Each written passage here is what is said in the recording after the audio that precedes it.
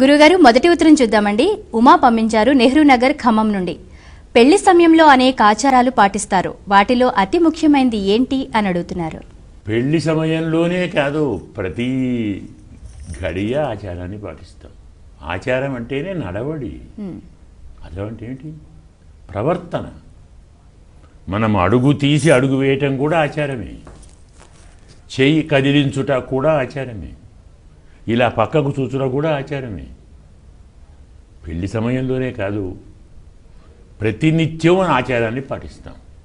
స్నానం చేయాలి ఆచారమే.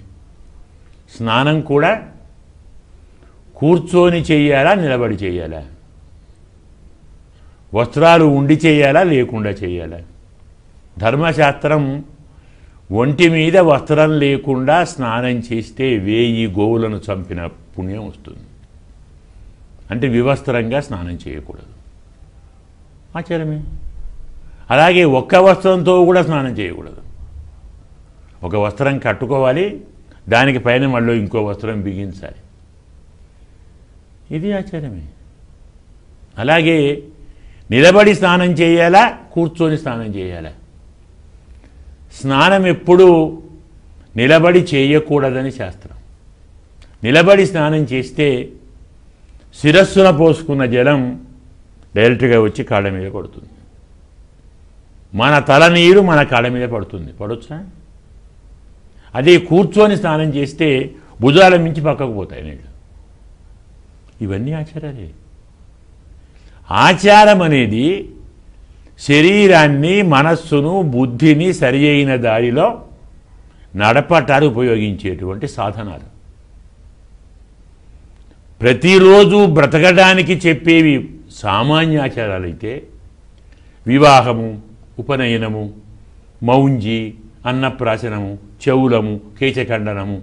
ఇవి జీవితంలో ముఖ్య ఘట్టాలు. ఇక వాటిలో కూడా అత్యంత ముఖ్య ఘట్టం వివాహం. ఏంటి కారణం? ఒకడు కాస్త ఇద్దరు అవుతారు అప్పుడు అతనికంటూ ఒక ఇల్లు ఏర్పడుతుంది. ఇల్లు ఏర్పడటం అంటే ఇల్లు కట్టుకోవడం కాదు. పెళ్ళి చేసుకోవడమే ఇల్లు. గృహిణి గృహముచ్యతే అని శాస్త్రం.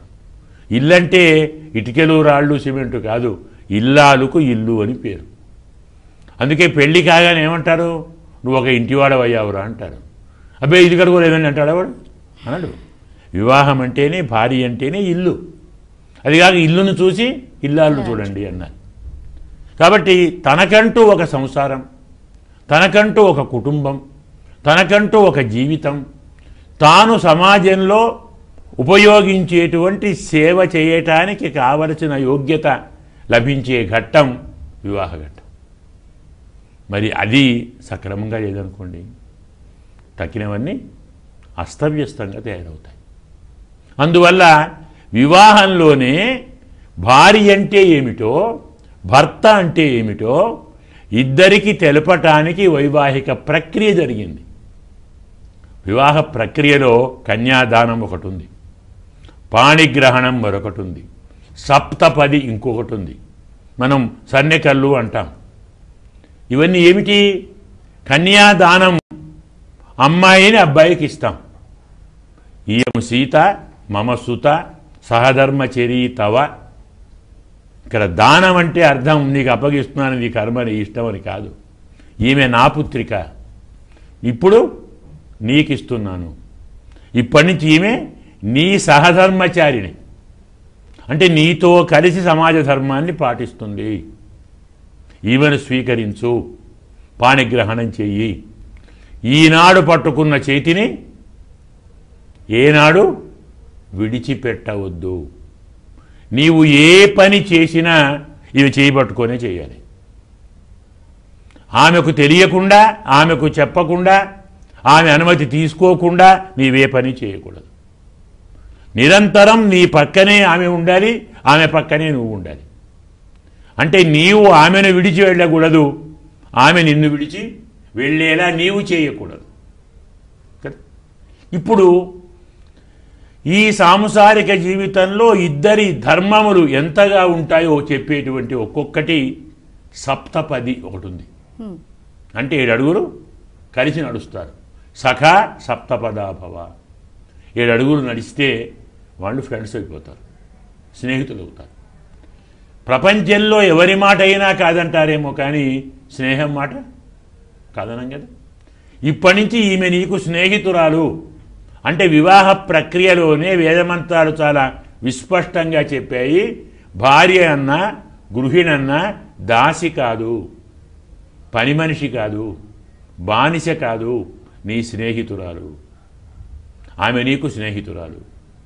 ప్రతి పని ఆమెతో కలిసి చెయ్యి ఆమెతో సంప్రదించెయ్యి ఆమె అనుమతిస్తేనే చెయ్యాలి. సన్యాసం తీసుకునేవాడు కూడా భార్యను అడిగి ఆమె ఒప్పుకుంటేనే తీసుకోవాలి. భార్య ఒప్పుకోలేదు ఛాన్స్ లేదు సన్యాసానికి. ప్రతి పని సంప్రదించి పరస్పర ఆమోదంతో చెయ్యండి.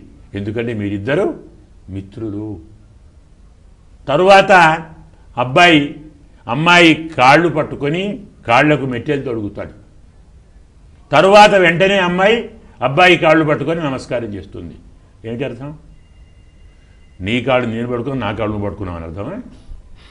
దాని అర్థం అది కాదే. ప్రపంచంలో ఏ ప్రాణికైనా లేని సౌకర్యం మనిషికి ఉంది చేతులు. వీరబానికి లేవు. కాళ్ళు చేతులు. కాళ్ళు కదులుతాయి చేతులు కదిలిస్తాయి. ఈ చేతులు కాళ్ళ దగ్గర ఉంటే ఏమవుతాయి కదిలే వాటిని కదిలిస్తాయి కదలని వాటిని ఆపుతాయి. కదా? కాబట్టి భర్తను నడిపించేది ఎవరు? భార్యే. సరిగ్గా వినకుంటే కాళ్ళు పట్టి మరీ నడిపించాలి. భార్య నడిపించేది ఎవరు? భర్తే. వినకుంటే కాళ్ళు పట్టి నడిపించాలి. చేత కాలేదు చేయి బట్టి తీసుకోపోవాలి. చేయి బట్టి తీసుకొని వెళ్ళు కాలు బట్టి అడుగు వేయించు. తప్పడడుగు వేస్తే అడుగు వేయించు. తప్పుగా నడవబోతే చేయబట్టి లాగు. ఈ పాణిగ్రహణం స్నేహానికి పాదగ్రహణం సరి అయిన దారి ప్రవర్తింపజేయటానికి ఇలా కన్యాదానం పాణిగ్రహణం ఇంకోటి ఉంది ఏమంటాం? గుడజీరం అంటాం. జీలకర్ర బెల్లం పెడతాం. ఒకసారి బెల్లము జీలకర్ర రెండు కలిపి నూరిన తర్వాత మళ్ళీ అందులో నుంచి దాన్ని రెండింటిని వేరు చేద్దామా? చేయండి చూద్దాం. ఏమి చేసినా కాదు.